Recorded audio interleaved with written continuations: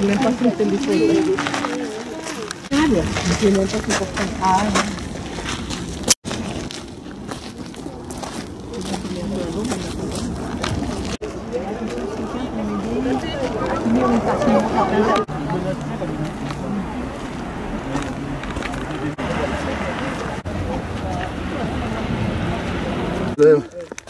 Euh, à l'époque où le jardin était creux et c'était des figuiers en caisse. C'est pour ça qu'ils ont rappelé ça avec. Donc, d'une part, vous faire découvrir. Le bâtiment au-dessus s'est construit dans les années Vous l'apercevez euh.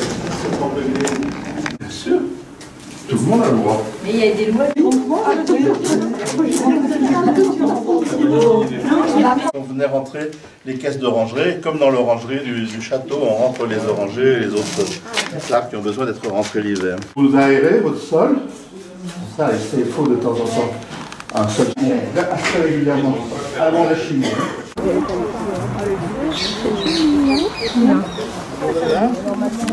Ça, si jamais il n'y en a pas assez, vous avez eu euh, une de ces pluies torrentielles comme il y a eu en 99, euh, juste avant la tempête. Donc il y a dé- avec les sols. Enfin bref, c'était très, c'est toujours très mouilleux là-bas au fond. Voilà, et donc...